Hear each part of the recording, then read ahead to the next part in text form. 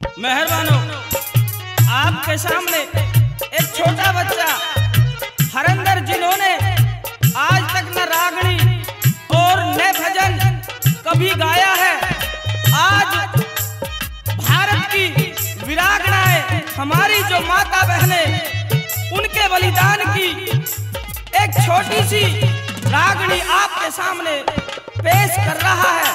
देखिए, कवि ने उसके क्या लिखा है और क्या कहा है? सदा अमर रहेगी जग में, माँ गोजरी तेरी कहानी। वो तेज धर्म के लिए